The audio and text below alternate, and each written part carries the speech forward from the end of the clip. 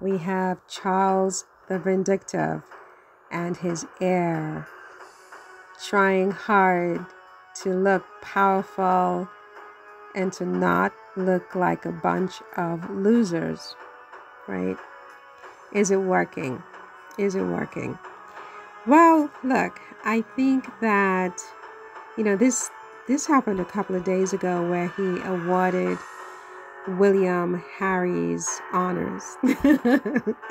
and William actually took the honors that he did not earn. He I mean, it's beyond nepo baby. It's one thing to say you're a nepo baby, but another thing to know that somebody else's honors, somebody else's work are literally being handed to you in front of millions and millions of people.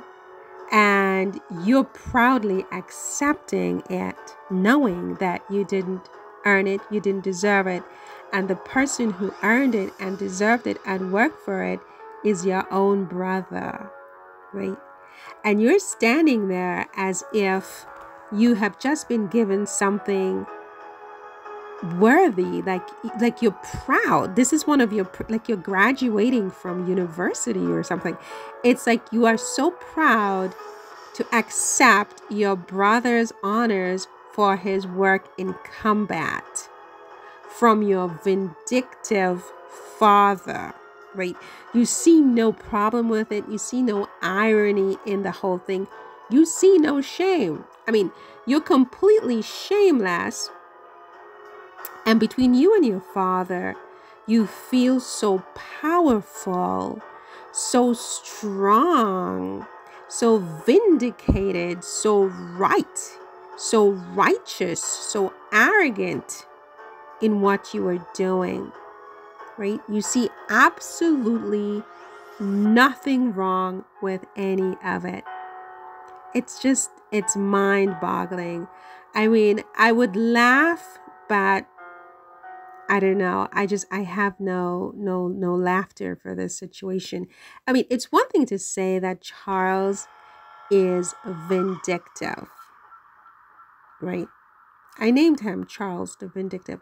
It's one thing to say that. But what is William's excuse? What is William's excuse? Like, how does William allow himself to be used in this way. How does William allow himself to be put in in this situation where it's it's almost comical? It's comical for God's sake. It's like it makes him look not like a winner, but the opposite, like a loser. He's like a loser king, a loser heir. It's like how does he allow himself to be put in this position? How big would William have looked if he had issued a public statement saying thank you to his father, but that this belongs to Harry? Even if he hates Harry, how much bigger, how much more powerful, how much more credibility would William have had? In front of the entire world. Even those people who are upholding both these bozos in their wrong, they know in their hearts that it is not deserved. William does not deserve this honor. They all know this. And you know, there's nothing worse, in my opinion, than knowing that you don't deserve something and getting it anyway. It's it's like a hollow victory. It's it's hollow. It it just it's empty. It leaves you empty inside. You go home and you drink like three bottles of whatever you drink, whether it's gin or um, or wine or rum or what else are the other really strong drink, vodka, whatever. You go, you have three bottles of this in one sitting because you feel so empty and so lost because you you're fake and you know that you're fake and you know that other people know that you're fake right but you're pretending in public that you don't care.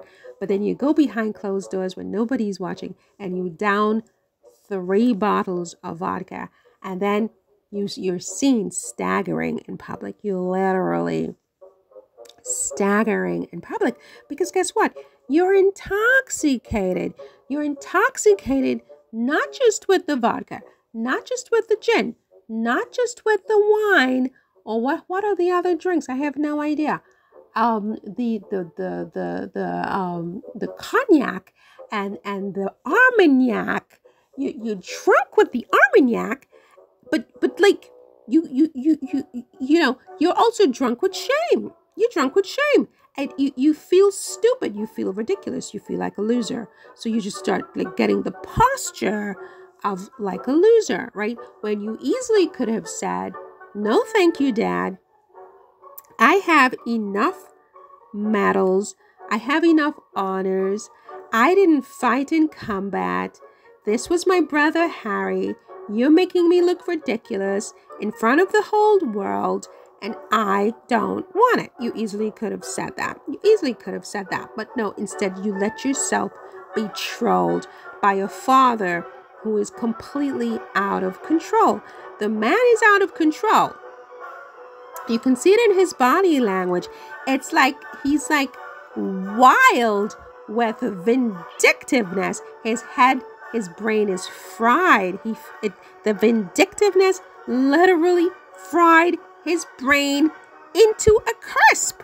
And he's using you to execute, you know, his deeds, his ridiculous deeds. It's ridiculous, completely ridiculous. And there you are, William, being made a clown and a fool. Look at this guy. Look at this guy. Fake, fake. You want to talk about full royal tour? Faux soldier. You are a faux soldier. This is what you need to talk about. It's a disgrace to everybody who has ever fought in combat. This is your idea of being a king? Oh my God.